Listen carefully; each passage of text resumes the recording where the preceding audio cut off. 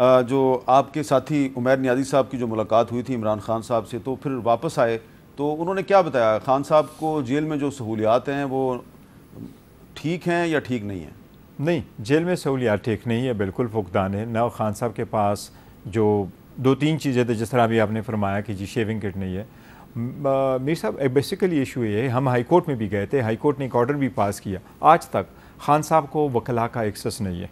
जिस वक्त हम गए और सबने हमें कहा था तो आप उनकी उमेर न्याजी साहब की आपने देखी होगी, कोशिश हमारी यही थी, उन्होंने कहा था कि जी गौर साहब मिलेंगे, खान साहब ने कहा है तो हम मिलेंगे, उन्होंने मुझे मिलने नहीं दिया।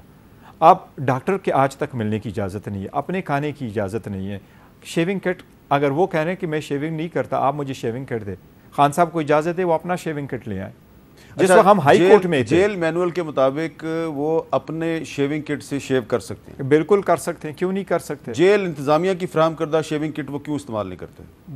सर उसको उस शेविंग किट की इस्तेमाल अपने शेविंग किट की इजाज़त क्यों नहीं देते हो? अपने अच्छा। कपड़ों की क्यों नहीं देते अपने खाने की क्यों नहीं देते हो? जब हम इस्लामाबाद हाई कोर्ट में तो, तो चीफ जस्टिस ने अटारनी जनरल साहब के ऑफ़िस को मुहातिब करते हुए कहा कि मैंने मेरे तो इलम है इससे पहले भी एक वीआईपी आदमी था वो तो घर से खाना मंगवाता था।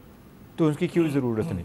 उसको कोई फैसिलिटी नहीं दी गई जी जो उसके वो इंटाइटल है? अल्लाह ताला से रहम मांगना चाहिए। हाँ। अल्लाह ताला की ज़ात से डरना चाहिए।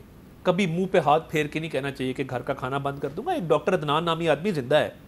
मैंने उसको अपनी आँखों से कोट लखपत के बाहर हम छः छः घंटे खड़े रहते थे मीसा दीवार के साथ लग के।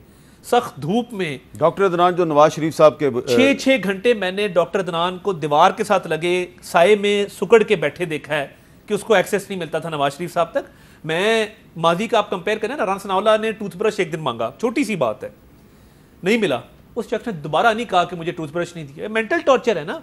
देखें जो सहूलियात हैं मिलनी चाहिए। मगर आप जब मुँह पे हाथ फेर के टीवी उतारूँगा एसी उतारूँगा खाना बंद कर दूँगा दवाई बंद कर दूँगा जेल में गए हो चोर हो तुम कोई उधर तो, शाना तो, तो ये बड़ा गलत किया उन्होंने। बड़ा गलत किया। लेकिन अब अब उनके साथ वही कुछ मेरा नहीं ख्याल है। मेरा नहीं ख्याल। देखें अगर समझेंगे ना कि रोज महफिलें लगे वहाँ पे मैं अल्लाह ताला से डर के ये बात करता हूँ।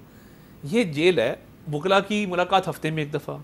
फैमिली की मुलाकात हफ़्ते में था जेल मैनुअल में भी चीज़ें गौर खान साहब ही उनके वकील हैं इनकी तो इनकी तो मुलाकात होनी चाहिए ना। इनकी हुई है। नहीं हुई मेरी नहीं हुई। मुझे मिलने नहीं दिया। इनको नहीं मिलने दिया। मैनुअल के मुताबिक भी जेल मैनुअल के मुताबिक भी छह बंदे जाके दिन में जा सकते छह परसेंट जा सकते। आज तक हमें उन्होंने इजाज़त नहीं कुछ वकला मिले होंगे। मेरी जो इतलात है कि वो कंफर्टेबल है। देखें अगर तो जेल को कोई ड्राइंग रूम बनाना है अब मुझे नहीं पता कि उसकी गुंजाइश है नहीं है। बट मेरा नहीं ख्याल कि कोई बुनियादी सहूलियात उनको डिनाई की जा रही हैं। बाकी फिर बुनियादी सहूलियात उनको नहीं मिल रही।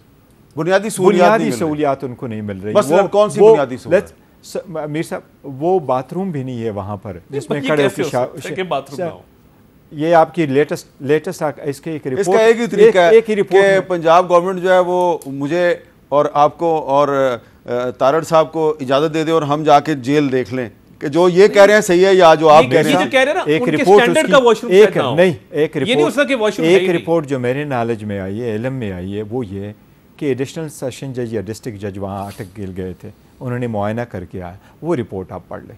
अच्छा। यस उस रिपोर्ट में उन्होंने लिखा है रिपोर्ट में लिखा सहूलियात नाकाफी सहूलियात नाकाफी है। नहीं दी गई है। और ये भी लिखा है कि जहाँ वाशरूम है वो वाशरूम छोटा है सिक्योरिटी कैमरे लगे हैं उससे पूरा प्रॉपर और इमरान खान साहब की टांगे लंबी हैं। मरियम नवाज़ शरीफ साहब डेथ सेल में थी वो कहती कि मैं सजदा करती थी तो मेरा सर वॉशरूम वाली जगह पे साथ ज़्यादा हुई मरियम साहबा के साथ ज़्यादा हुई नवाज़ शरीफ साहब के साथ ज़्यादा हुई शबाज शरीफ साहब के साथ ज़्यादा हुई लेकिन क्या वही ज़्यादा अब इस सबक तो कह रहा हूँ सहूलियात मिलनी अच्छा ये बताएँ कि ये जो ये बात भी दुरुस्त है कि इमरान खान साहब ने वो जो आपके वकील दोस्त मिले थे उनको ये इंस्ट्रक्शन दिया कि जो मूनस लाई साहब हैं उनको तहरीक इंसाफ की कोर कमेटी में शामिल कर लिया जाए। मेरा नहीं ख्याल को ऐसी है लेकिन अगर दी हो तो हमारे साथ अच्छा ये भी इंस्ट्रक्शन दी गई है कि जो chief justice Islamabad high court है आमिर फारूक इनके खिलाफ नो कॉन्फिडेंस की दरखास्त दायर की जाए। नहीं ऐसा हमारा कोई डिस्कशन इस बात पे नहीं हुए बाहर ना हम न उन्होंने ज़िक्र किया अच्छा उसकी ज़िक्र नहीं किया। नहीं नहीं तो आप ये नहीं लग रहे ताला तार साहब आखिर में ये बताएँ कि ये जब आपको याद होगा कि जब डॉक्टर दनान साहब जेल के बाहर खड़े रहते थे और नवाज़ शरीफ साहब अंदर थे उनको सहूलतें नहीं मिल रही थी तो नवाज़ शरीफ साहब का पॉपुलरिटी ग्राफ ऊपर चला गया था। क्या आज वैसा ही पॉपुलरिटी ग्राफ जो है, वो अटक जेल के कैदी नंबर 804 का भी ऊपर नहीं जा रहा? देखिए, कैदी नंबर 804 हो या 420 से फ़र्क नहीं पड़ता। फ़र्क सिर्फ़ इस बात का है कि आप पे मुद्दा क्या है। आपने रास्ते मदीना की बात की, आप मुस्लिम उम्मा के लीडर के क्लेमेंट थे, फिर आपने घड़ियों का, हीरे जवाहरात का, ब्रेसलेट्स का इयरिंग्स का, अंगूठियों का भी व्यापार किया जो आपको नहीं करना चाहिए था। फिर स्टेट सीक्रेट्स का आप पे इल्ज़ाम है। ये तो आने वाले इलेक्शन में अवाम डिसाइड करेंगे।